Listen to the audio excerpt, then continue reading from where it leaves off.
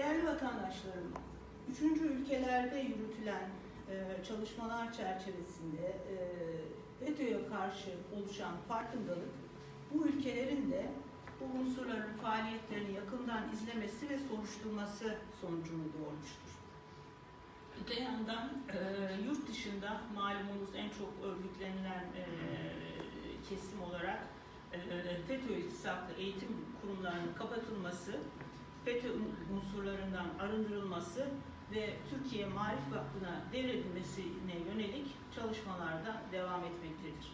Bugüne kadar 38 ülkede FETÖ iltisaklı okul ve dil kurslarının e, faaliyetleri kısmen ya da tamamen sonlandırılmış. Bunların 20'sinde okullar Türkiye Marif Vakfı'na devredilmiştir. Bunun yanı sıra Türkiye Marif, Marif Vakfı 22 ülkede de e, yeni okullar açmıştır.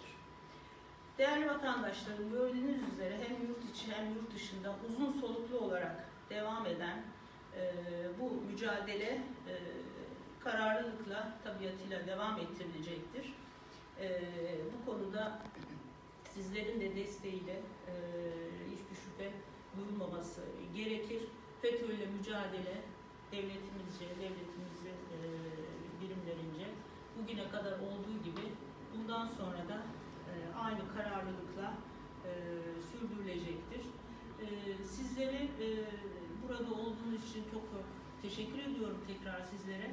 E, aziz şehitlerimizi saygıyla ve minnetle tekrar anıyorum ve e, sizleri hazırlamış olduğumuz e, Cumhurbaşkanlığımızın ve TRT'nin e, hazırlamış olduğu e, videolar çerçevesinde yine e, 15 Temmuz 2016 tarihinde hatıralarımızı e, tazelemek amacıyla e, videolarımızı izlemeye davet edeceğim.